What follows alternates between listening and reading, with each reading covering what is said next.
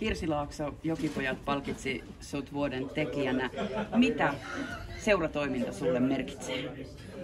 No seuratoiminta on tietysti ollut pitkään oma, oma niin kuin, omalla sydämellä jo siitä lähtien, kun oma poika on pelannut seurassa ja saanut siellä olla sit vanhemman, vanhemman roolissa, eli ollut, ollut kahviossa ja talkoissa ja toimitsijana ja, ja sitten mieheni Kalle Laakso, ketä on tässä myös, ketä on palkittu, palkittu tässä tämän vuoden aikana, niin on ollut sit valmennustoiminnoissa toiminnoissa siellä mukana. Ja seuratoiminta on tietysti mukavaa yhdessä tekemistä ja itse ollaan, tai meidän perhe on ainakin tykätty ja nautittu siitä, että ollaan saatu olla tukemassa sitä toimintaa, mitä voidaan lasten ja nuorten eteen tehdä.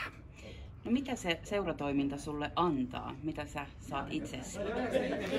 No seuratoiminta on antanut tietysti tällä hetkellä, oma poika on jo, jo lähtenyt ma- maailmalle meidän seurasta, mutta se mitä, mitä ystäviä ja, ja kaverisuhteita ja ja tosiaan ystävyyssuhteita sieltä on jäänyt läpi elämän, elämän niin se on tosi tärkeää ja se yhteenkuuluvuuden tunne, niin se on, on tuntunut tosi mukavalle.